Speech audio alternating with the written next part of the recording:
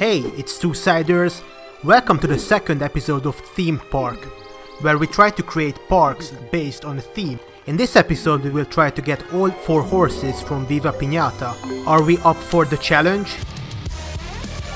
No, probably not. We begin by clearing out the base garden.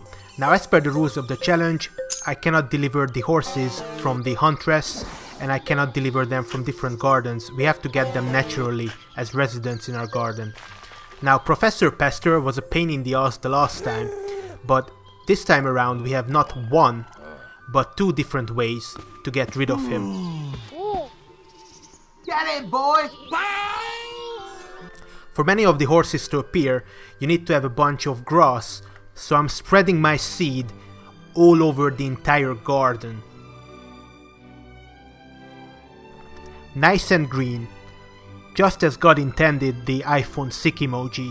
We are going to create a vegetable garden because we will need a bunch of carrots and initially I didn't really want the bunnies to eat up all the carrots, however as you'll see we'll get a bunch of bunnies anyways. This sound makes me want to go to the toilet. We are also going to plant an apple tree because we will need, guess what, a bunch of apples. We already have some Bunnycomb visitors which are admittedly not horses, but they are bunnies. And as you can see the fence works wonders against Professor Pester.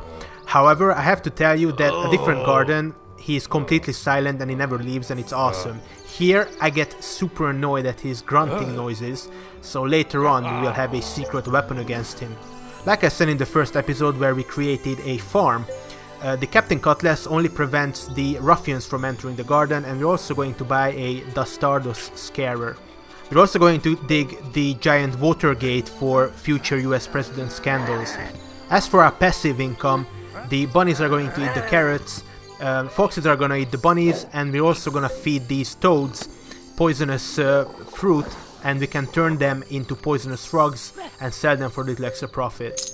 One of the secret horses loves flowers, not just carrots, so we are going to create this awesome flower bed with uh, different stripy colors. We're also going to buy a mine and force some uh, Chinese factory workers to work in them, because some very special pinatas require stuff from the mines. And this is not part of the challenge, but I just deliver myself a Profitamole because it loves being around mines and eating dirt. Quite literally. And interestingly enough, we'll get not the first horse available, but actually the second one, the Horstachio that we also had in our previous episode on the farm. And already one of them turned because it ate a bunch of our carrots and also our apples. I'll name the male horse Horus. Nice and the female one Hazel. To breed them we'll need a house first and foremost, so I'll just buy that from uh, this guy who has a hammer for a face. And look at that, it seems like the Horstachio home is based on a Romanian taxi. They can sleep in here whenever they like, and I don't often let them actually. I placed some cactus and a bunch of uh, desert decorations around the home to make it seem like a little bit more uh, like Romania. I also placed some uh, cobblestone path, um, just for decoration. And believe it or not, Professor Pester manages to go around the fence. I've never actually seen that happen. People have been using this method for centuries and this is the first time this happened. So I want a more foolproof method. So just like in real life when you have uh, home invaders, I just released my rhinoceros and it yeeted Professor Pester up in the sky, kind of like Team Rocket from Pokemon. Sayonara or whatever they say. Uh, name this good boy Bastion! It! and I also bought him a couple of accessories to make him happy. I bought him a cowboy hat and a saddle because he's kind of like a bull. And technically it's also a horse because uh, they are both ungulates, the more you know. Now at this point we finally get the event for the Ponocky, the pony pinata. However, as you can see it's invisible and it also Fuck! crashed my game. On the reload, however, we didn't lose much progress. This is how the Ponocky looks like. It's trapped behind bars, so we'll need to hire Bart, the Tinker, to turn these bars into candy, just like in real life. And we already have some Ponockys in the garden because they smelled all the flowers and the carrots. And one of them already ate 5 carrots, so it became our resident. And don't worry, it doesn't have this goose shit color. It actually will go into this nice butter yellow.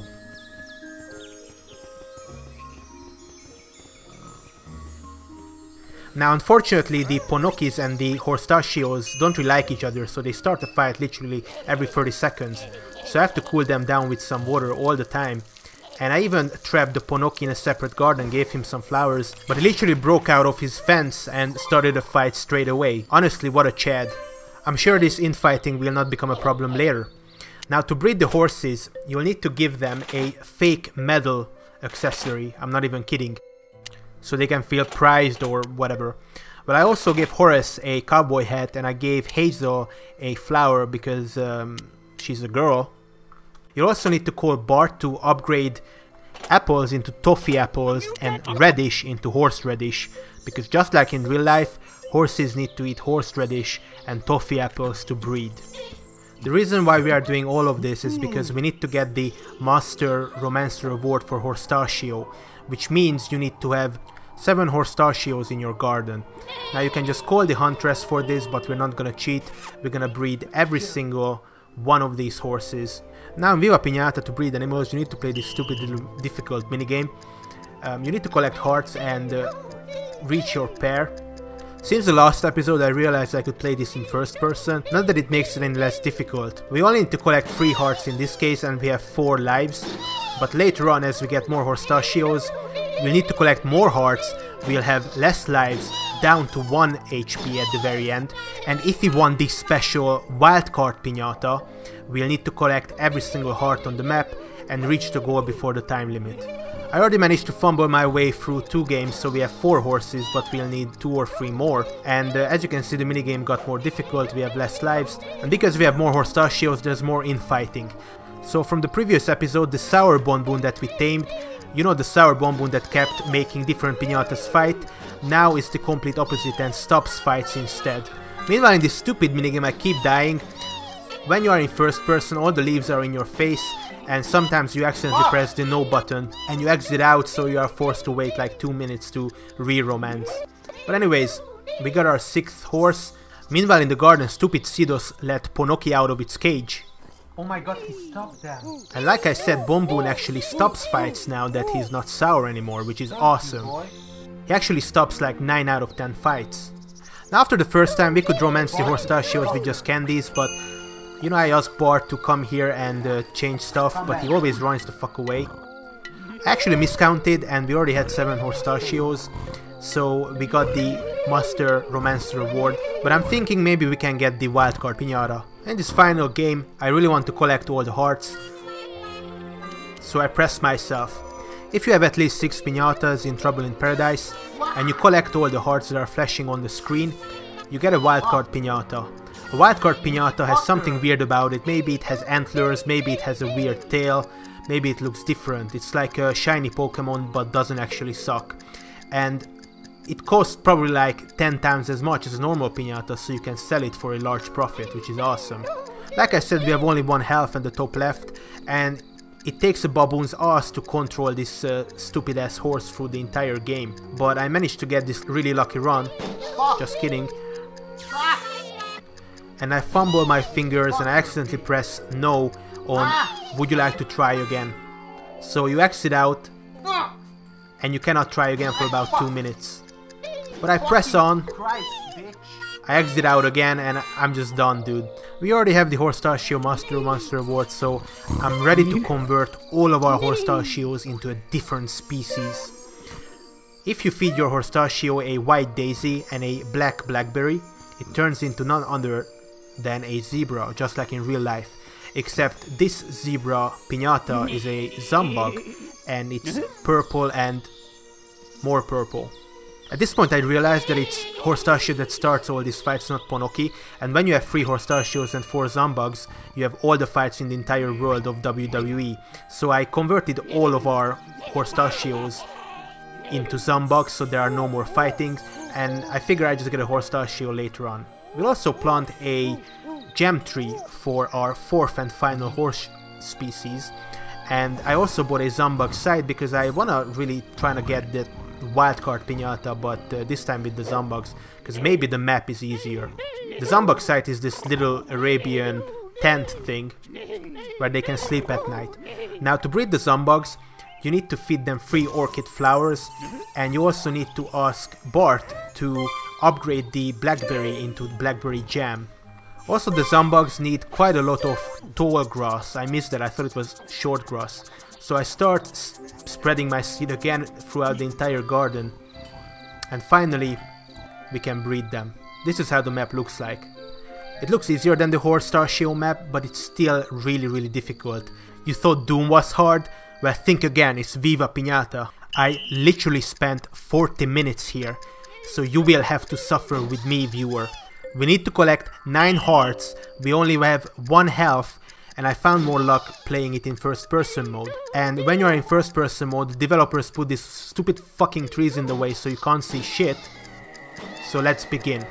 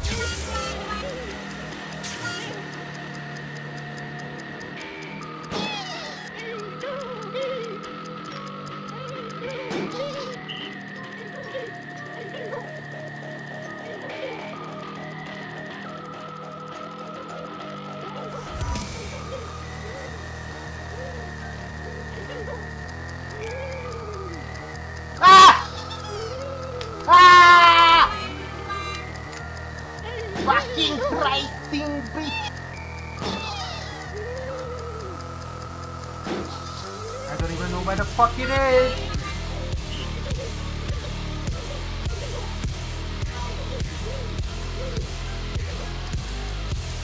You fucker!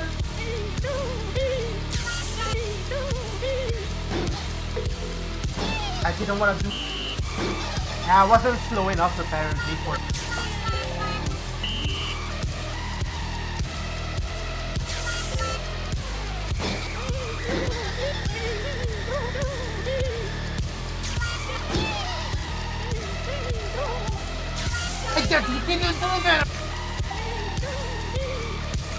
Cannot see shit.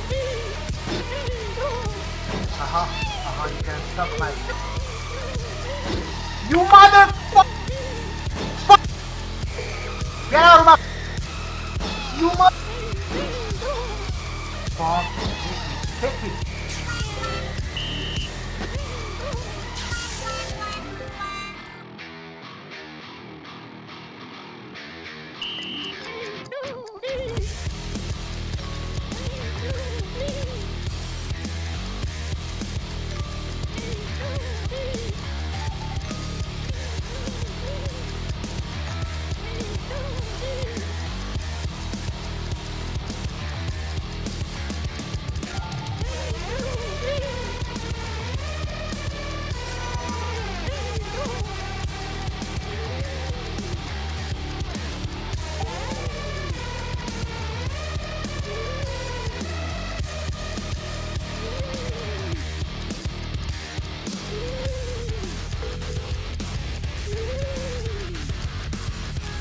Yes! Ah! I finally did it! My god!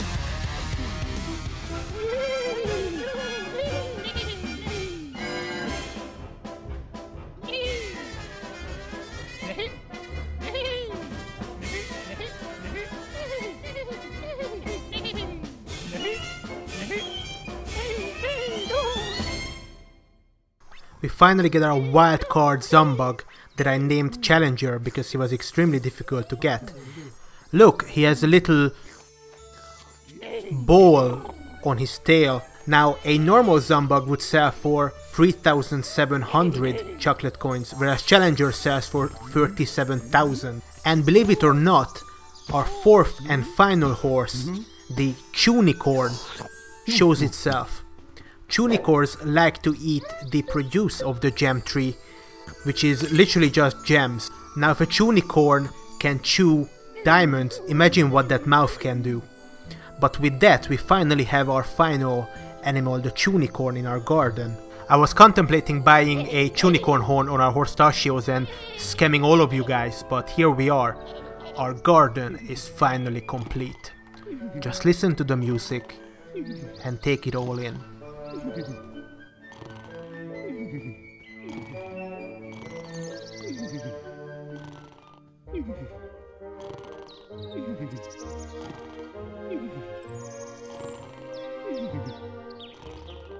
Hmm.